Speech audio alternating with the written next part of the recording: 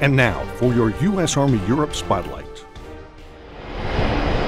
With the Crimea situation and what had been occurring in, in, Ukraine, the Baltic countries, Estonia, Latvia, and Lithuania, and Poland asked for support and our ability to get there rapidly, put boots on the ground, and then really hit the ground training uh, could have only been uh, facilitated by the relationships that we had had previously with those countries. U.S. Army Europe swiftly responded to our NATO allies' request by deploying elements of the 173rd Airborne Brigade from Vicenza, Italy into all four countries.